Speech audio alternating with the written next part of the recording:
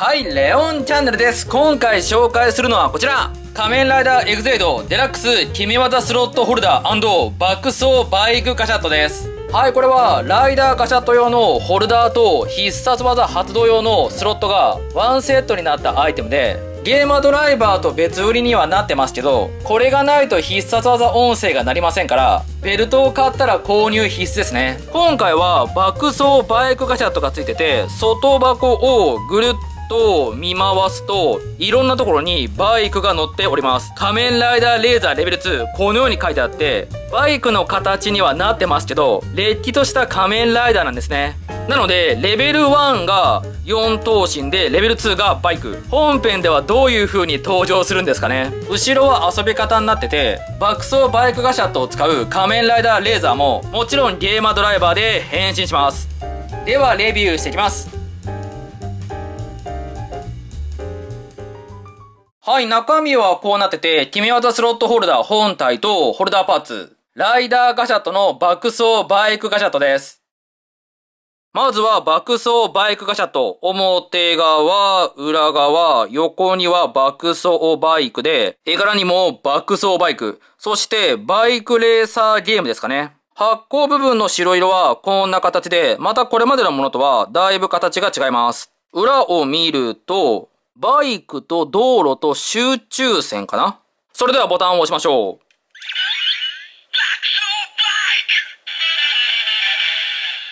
爆走バイクで、2音目は、いつものゲームクリア音で、もう一度押すと、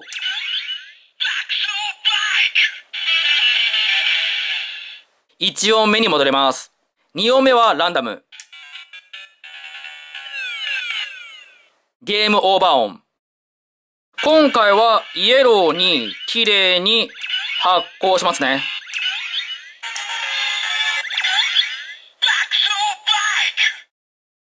では仮面ライダーレーザーに変身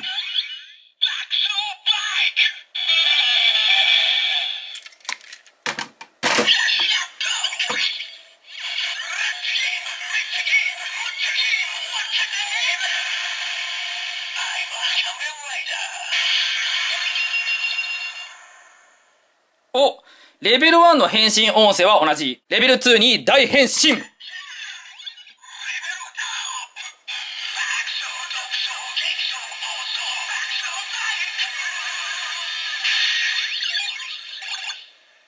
おー歌いながら専用音声が来ました。爆走バイク小窓に近づいてもう一度。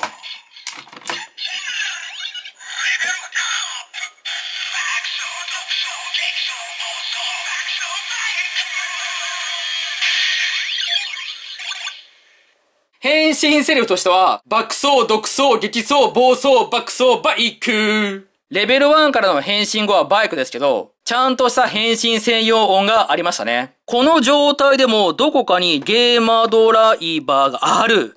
ここだ。え？なんかシートにゲーマードライバーがついております。面白。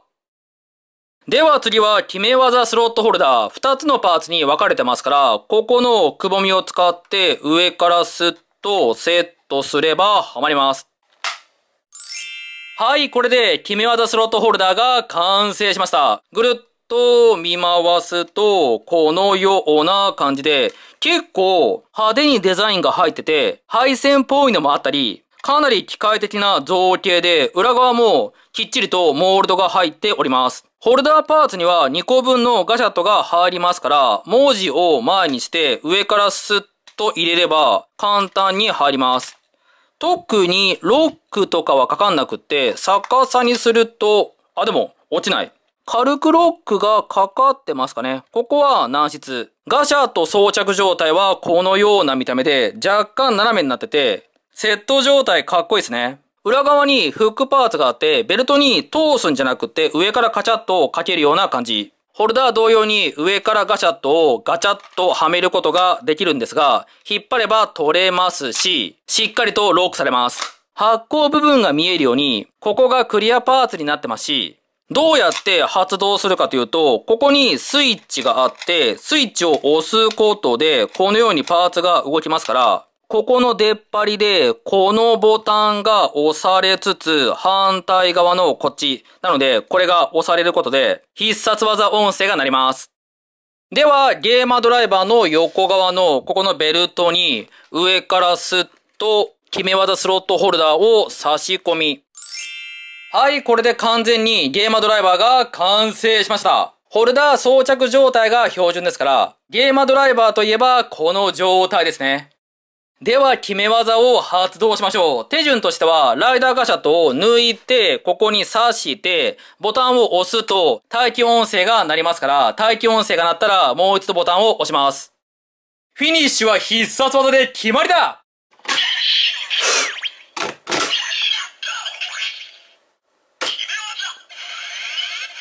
はい、そうすると、ここから発光が見えますね。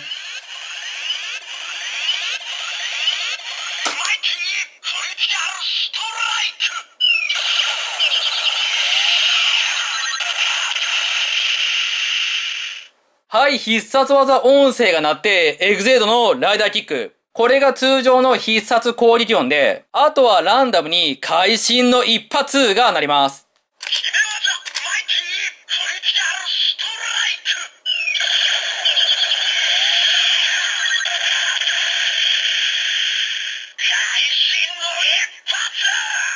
これがランダム音声。次は爆走バイクで決め技。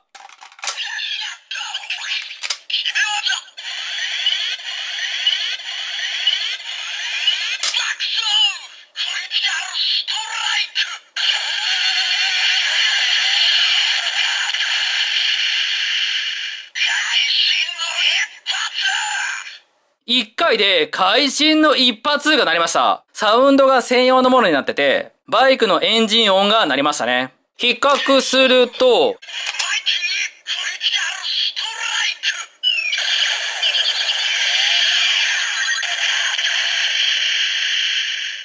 こっちは電子音で、爆走バイクは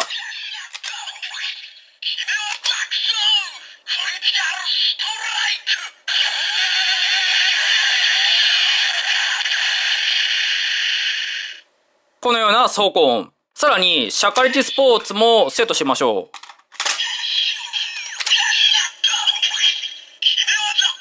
う。はい、グリーンに光って、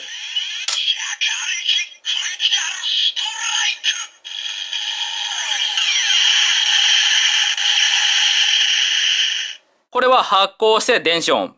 それぞれちゃんと必殺技発動音も違って、発光色も違いますから、いろんなパターンで遊べますね。爆走バイクは、ここの絵柄的に、マイティアクション X と組み合わせることができるっぽいですから、マイティアクションとレベル3まで行きましょう。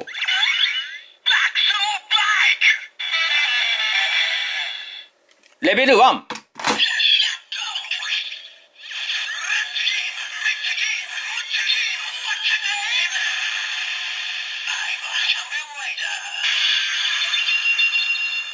レベル 2!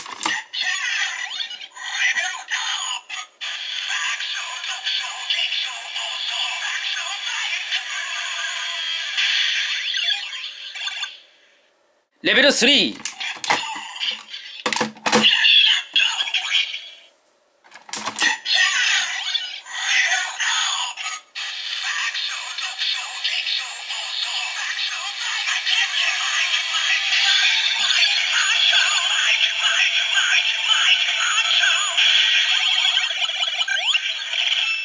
組み合わさってはおりますが、逆の方がいいのかな？マイティアクション X を前にして、後ろに爆走バイク。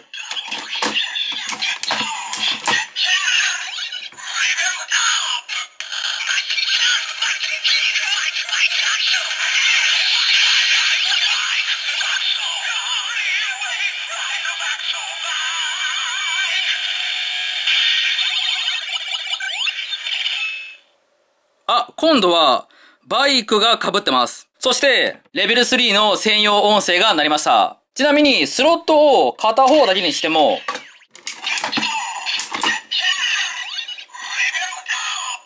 単体で鳴らすこともできます。